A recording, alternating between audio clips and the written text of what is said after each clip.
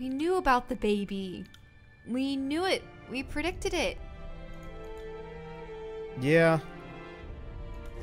And nobody should be dis- uh, surprised. Okay. Do you know what would be really gross? I feel bad for thinking this, but like, what if he had several babies? Like, Yeah, if the if the guy's entire um, strategy was to just uh, get with as many ladies as he possibly could, yeah, that'd be a problem. Okay, I think I'm gonna get rid of flash fire. but I mean, uh, Why do we get rid of rhyme spike? though it's interesting spike for this. because he probably chose the person. I mean, she chose willingly. It seems. Yep. It wasn't like he was scum Oh, like earlier, but what? She's in oh, disfavored she guard. changed her equipment. Block it. Oh, yeah. I guess Blocking the doorway, Amelia regards you with eyes that brim with tears, yet blaze with hints of her father's grim resolve. She has armored herself in disfavored raiment to face you down. Stay away from my daughter. You will not have her. Oh no. Oh, by the Archon's mercy. Don't let this be so. Barrett covers his face and howls softly.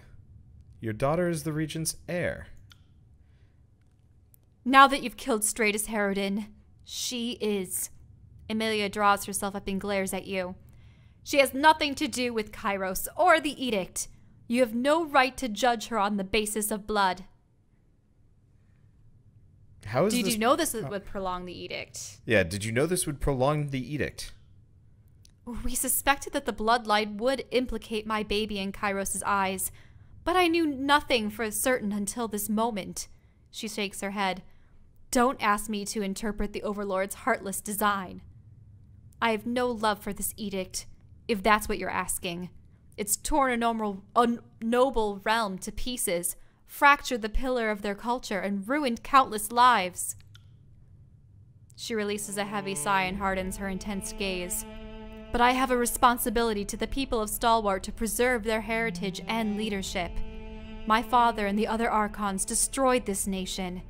She and I. Amelia glances back at the crib, then quickly focuses back on you.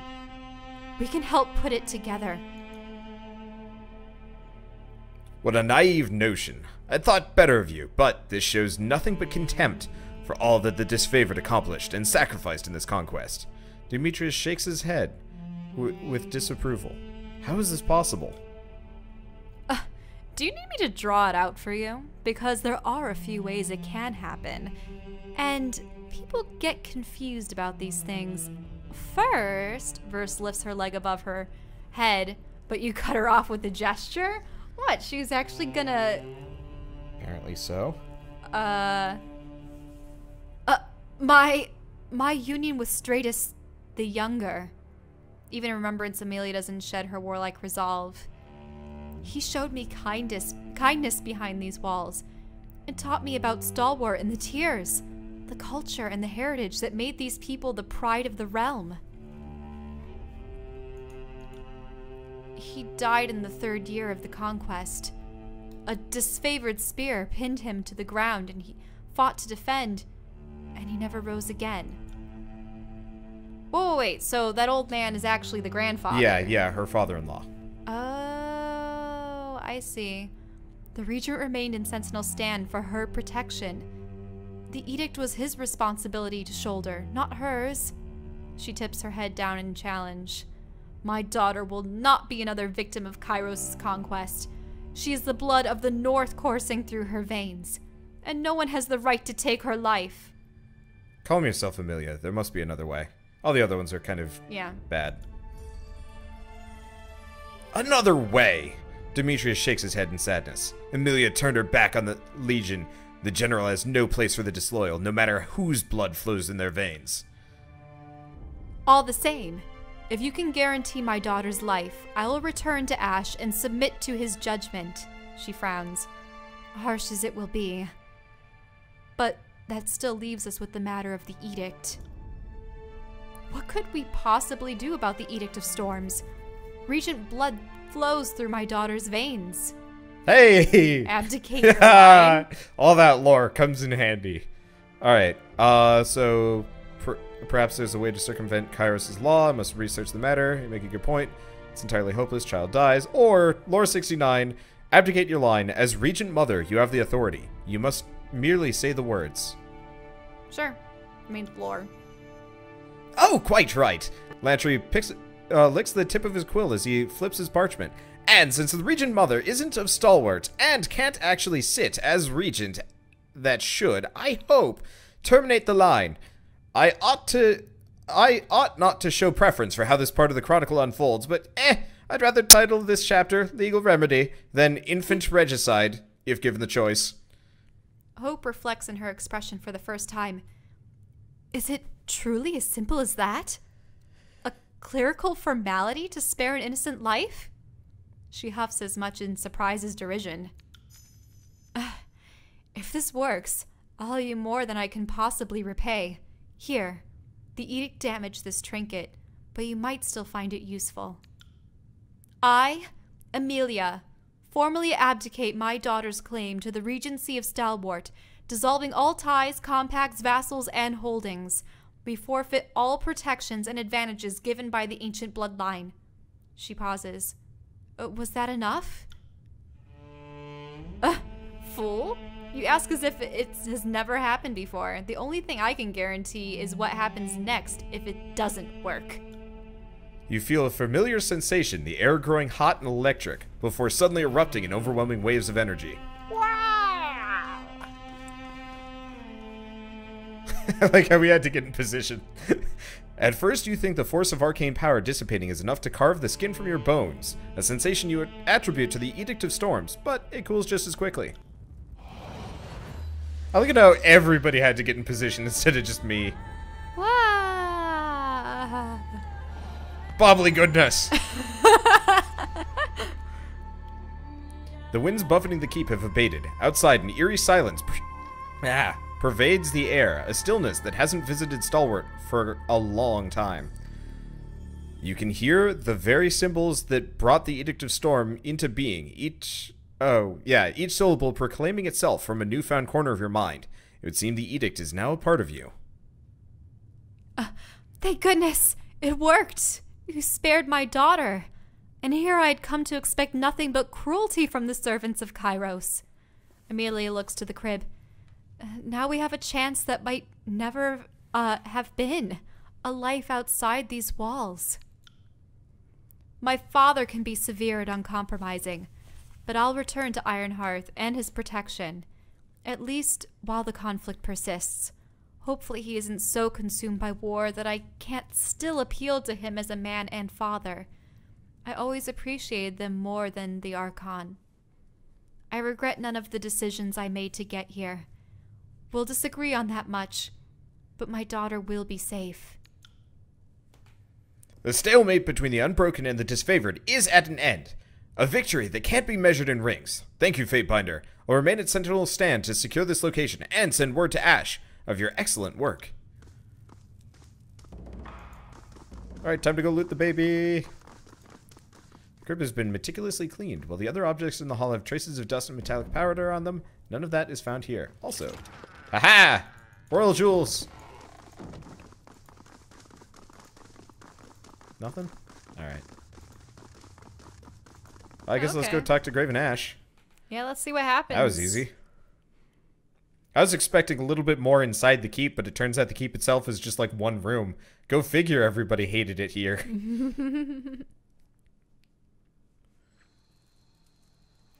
The keep is safe in our hands. Repairs are already underway.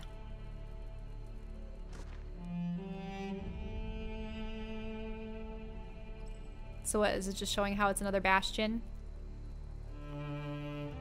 Ash will want to hear about what we've accomplished here. I'll hang back and oversee repairs of the defenses.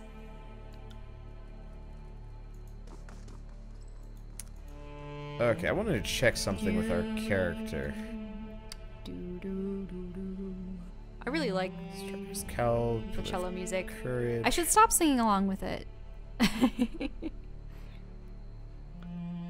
Huh. What's up? Uh, So hey, you actually got some favor with the whatever's. yeah, with the unbroken. Yep. Not that it matters Oh, anymore. interesting. I can, I can change my por- portrait whenever I want. That's interesting, but I still don't think anyone else has a beard. Yeah, there's like this guy and this guy A mustache man. And this guy. I mean, technically, this guy's beard and hair are a little bit closer to reality, but the skin color is. Yeah, I don't like doing that in games. We could go with like this. You mean having a portrait that looks so dissimilar to your main character? Well, part of it is I'm actually tempted to switch to this one, even though it doesn't look like my character. just because of the hood? No, because I'm looking the other direction and it's a cool color. It'll make it a little bit easier to pick my character out from the lineup. But ew, no, that looks stupid. He looks like that looks really stupid. All right, back to this guy. I mean, we could also do that. But what's the full portrait? Uh, no banner. Uh, He just looks like some kind of scholarly dude. yeah, close enough. Works for my character. Look, we didn't have the I. I don't, whatever. All right, so we have journal making a stand. I mean, you are a scholar. Yeah. All right. Okay. Ash's daughter colluded with the Unbroken Regent, producing an heir. Oh, so that's considered a tick against Ash. I- Really? kind of, yeah, I guess. Why? Well, I mean, it makes sense. It was part of the Unbroken, sort of. Anyway, we have maxed out Wrath with the Unbroken, but our favor is actually kind of going up a little bit. Oh yeah, they were really happy. Not because we uh, saved the daughter, but mainly just because we ended it. And we killed Malice. Oh, here we go. Oh, huh. Who's writing this? Tunon. Oh no, No, Meothis. Yeah. Tunon Favor 1. Dear Dude, based on what you've told me, it seems a stretch to believe these events are mere coincidence or circumstance. Kyros' edict of execution was a setup for someone to claim Ascension Hall. To think that Kyros did not know what would happen is a massive underestimation of the Overlord's long view. You have been thrust into the arena of the mighty. Your options are retreat into obscurity, suicide, or rising to the occasion. I suggest the third option. If I were you, I would use my connection to the spires to see if they will all awaken to my presence. Every Tiersman sees the spires in the horizon.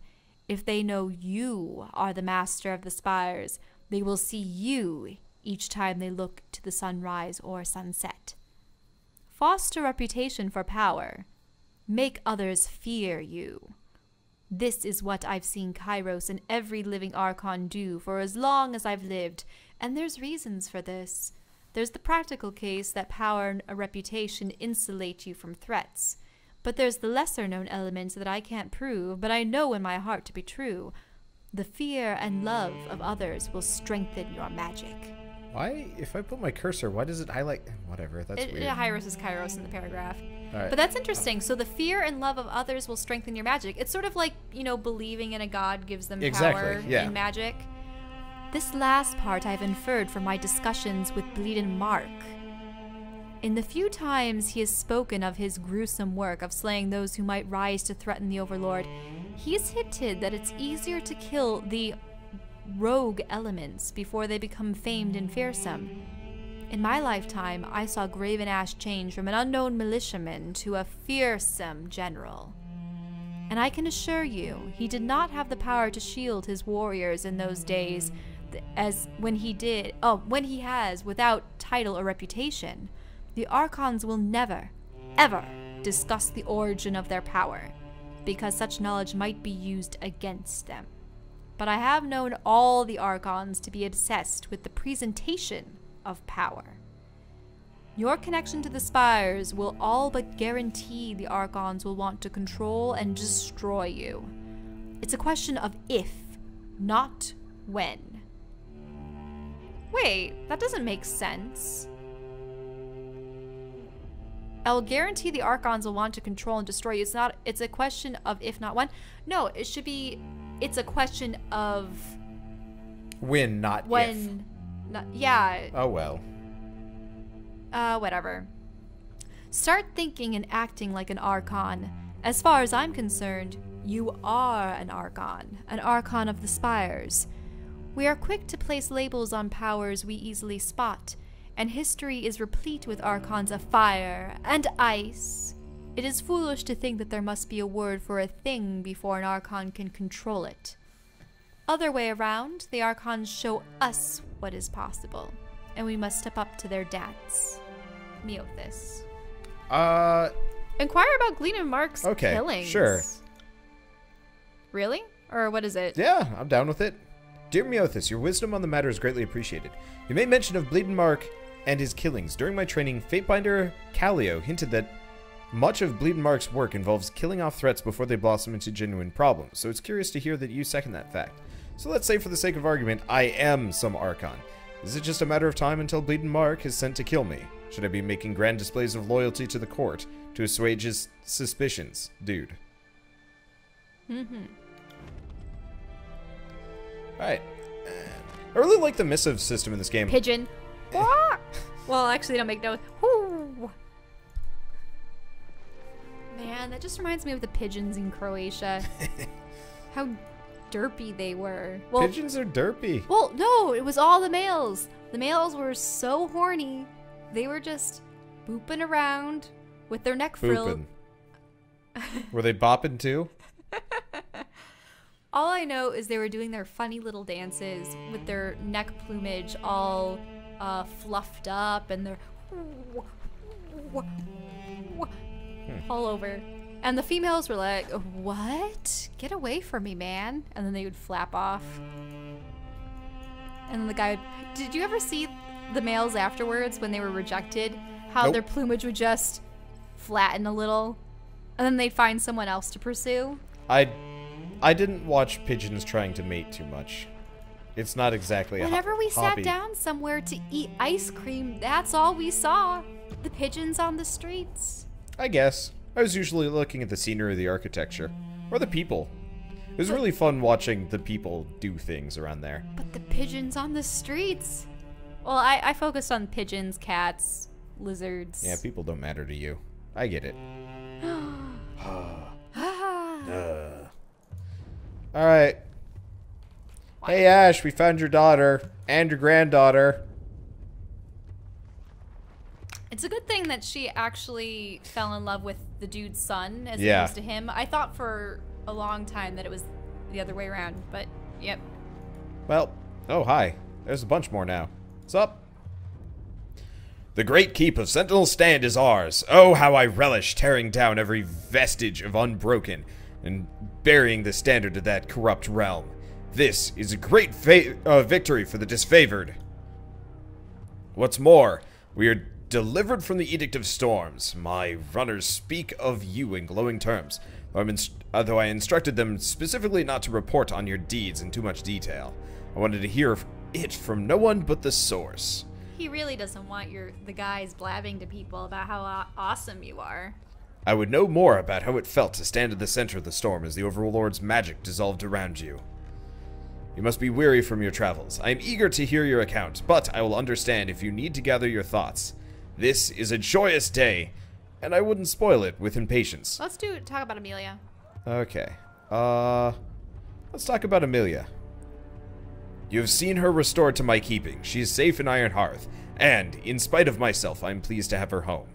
He nods and releases a heavy sigh. The tension in his shoulders lifts, if only for a moment. She is taken to her quarters and speaks not of what transpired during her long imprisonment. I've instructed her guard to offer her space to rest and regain her strength, but so far she keeps to herself. She has not sought her father's counsel either. He frowns at this, deep in thought. Say what you would then. Oh, so she hasn't revealed the daughter.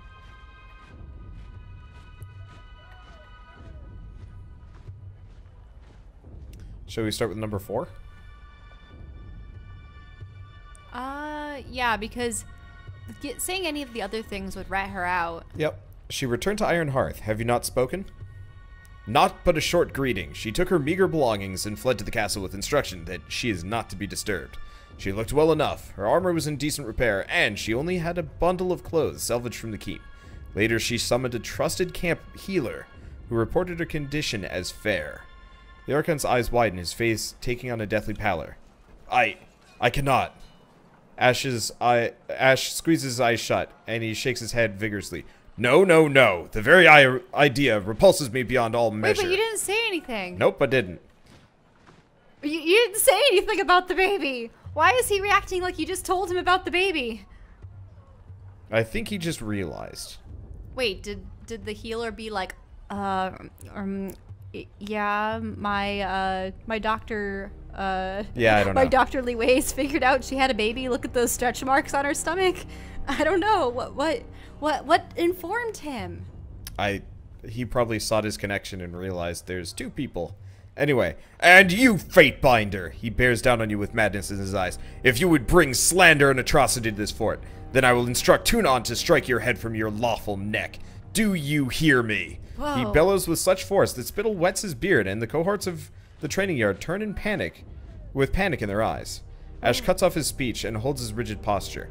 Throughout the prolonged silence, you aren't sure if he plans on swinging his mace in a wide arc or simply exploding from the tension he fights to repress. A vein rises along the crest of his scalp and slowly recedes as Ash calms his breathing.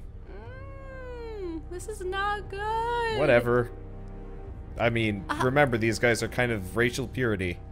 I'm just going to back away and let you handle this one. Don't mind me. Speak no more of these lies. I won't have them poisoning the air of Ironhearth and the ears of my fellow countrymen. You're a fool if you think I believe such an obvious ruse. Ash regards you with uncertainty, his eyes searching for truth or contradiction.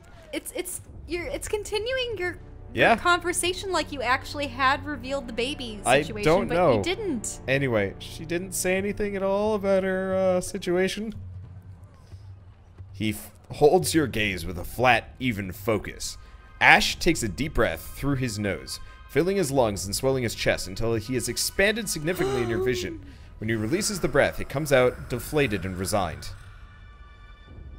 It's amazing to me how long it's taken some people to get the hint. Uh, don't mind me. I'll just sit back and watch this play out. By the Overlord's mercy, was ever a father more blind than me? The bundle, the healer, the sorrowful looks worn by her attending soldiers. His gaze shifts over to one of the windows of the castle, just in time to catch a silhouette stepping back from view. Kyros' flames. I should hurl her and that accursed creature from the rampart walls. Our family name, the very north, is degraded by her lechery. Ash grabs at his face and howls into his hands.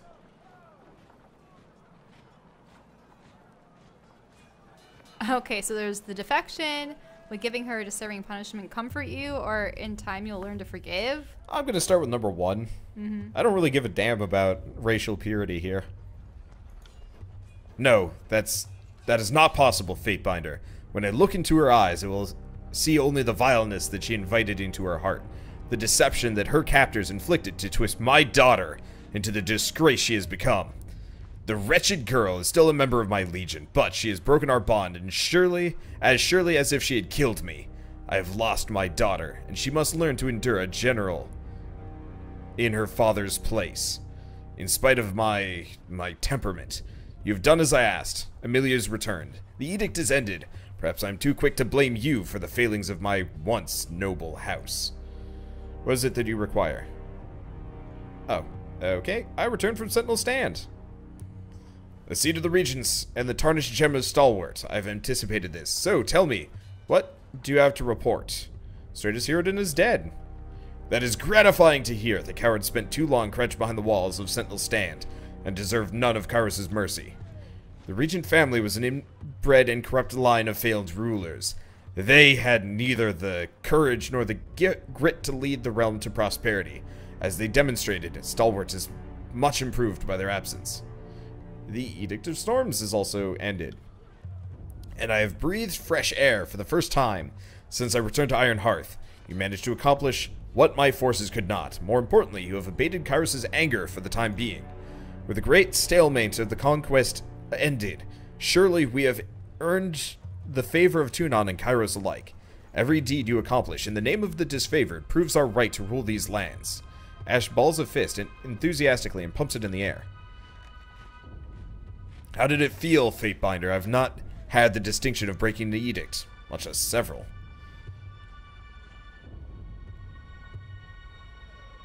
Um, Um. Well, if you say the first one, he's gonna be like, "Oh no, he's getting that magic." Magic. Uh, I have like number three. the toying with powers of, of which I yeah I know little. Yeah, okay. That will make him underestimate you. Maybe. I'm toying with the powers, uh, with powers of which I know little. Aren't we all? But in your case, I can respect your misgivings. The Overlord's magic is not to be meddled with lightly. Your actions at Vendrian's Well have cost, caused us all to expect more than you were ever prepared to shoulder as a legal clerk. Living up to our admittedly high expectations will do more than merely get you through this war. There are greater things to come once the dust settles. So, what are our next steps? Alright. First things first. My soldiers reported on your activities in the Blade Grave. They saw what happened when you broke the Edict of Storms. The power of this edict flowed through you like the wind. No one could account for it, but I have my suspicions. You are becoming powerful, perhaps in ways I don't even understand.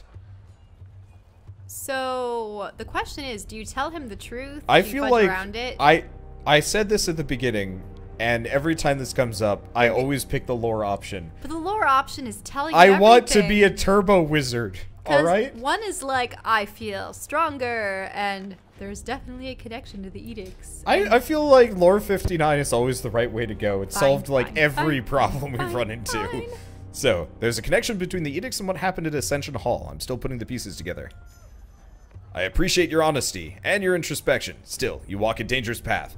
I would not want it to reflect poorly on the Legion. These are tools beyond the ken of people or archons alike. Take care that you don't overstep your bounds. In Kyros' hierarchy, someone always notices. well, yeah, he, he's given you a warning. Yeah, but we got lore experience. Yes. With that out of the way, let us return to the matter of war. Our position in the tiers is strengthening by the day, and there is work still to be done. It's time to broaden our scope in this war. There are two regions of interest, and either of them would strengthen our hold on the realm. Lethian's Crossing is home to the merchants and skilled forge-bound artisans. The Burning Library was once the home of all-knowing sages before Kyros reduced it to cinders. Ooh, well, we've already been to Lethian's Crossing. But we haven't broken the, uh... We haven't broken it or taken it. Right. We just kind of started it. But we haven't seen the library. Okay. We'll go to the library. Good. I understand the voices that the Voices Nerat has dispatched one of his miscreant gangs. Oh yeah, good. Wait, I did you want that. the spire in the other? There's a spire by the yeah, library too. Isn't yeah, because we've already been to Lethian's Crossing. This is hmm. the other good thing. So, good. I understand the Voices Nerat has also dispatched one of his miscreant gangs to comb through the ruins of the library. We cannot allow any privileged knowledge to fall into their hands. Kill any of his red-clad degenerates you find, and destroy the library as Kyros intended. It was also said to be a repository of arcane lore in the bowels of the library, the Silent Archive. It must be eliminated to satisfy the terms of Kyros' will. Whoa, wait. So, oh, the special archives have to be destroyed Yeah. to end the edict there. Yep. I wonder if they say anything about Kyros. I don't know. We better read it before we destroy it. My scoutmaster, Merrick, has dispatched uh, was dispatched to observe the Scarlet Chorus, though I haven't heard from him in some time. His last location was in the village of Effigy. The wilderness around the library is plagued with chorus patrols and wildfires that can make routes treacherous at a moment's notice. Merrick should be able to assist you in charting a safe course through that wasteland. The general worries, uh, worries his beard and frowns. I instructed Merrick to destroy all forbidden lore within the burning library, given the first available opportunity. The fact that the Edict of Fire persists is cause to assume that he failed. That's the one that you had started. Yep. All right. Well, And do you want me to? Do you want to ask him more questions, or Well, is he not? ask gonna- this. No, Oh. Um. it's the same thing. Well, goodbye. All right, so we're done Well- with making a stand. Meiosis or whatever her name is. Yeah. She already said that the people seem to gain power from what they do the most. It's sort of like skills in this game. Yep. I mean, if you notice, uh, here, let's go back to my new portrait It's that's weird. confusing me. Yeah, we do actually have a power meter as well. I don't know what Infinite power. that leads to. I'm also glad we're going this direction because we get to dissolve yet another edict, I guess. Here, I'll camp here. Well, at this point, you've dissolved storms. Uh, just two. Three spires, two edicts. Okay. Effigies up there. So we have, Eff yeah, we have effigy. There's Yeah. something in the mountain spire. So I think I'm gonna head for the mountain spire. I don't know what we're gonna run into there, but for whatever reason, it's lit up. Poof, they have something for you. Yeah, maybe. Or maybe a character is like, I demand that you take me with you to the library. Uh, mean, well, I mean, we got Lantry, and I'm just gonna keep Lantry in the party. I like Lantry. Oh, hey, missive.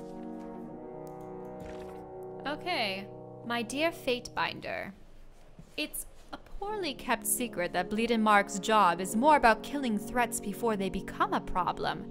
Official executions are really the minority of his duties.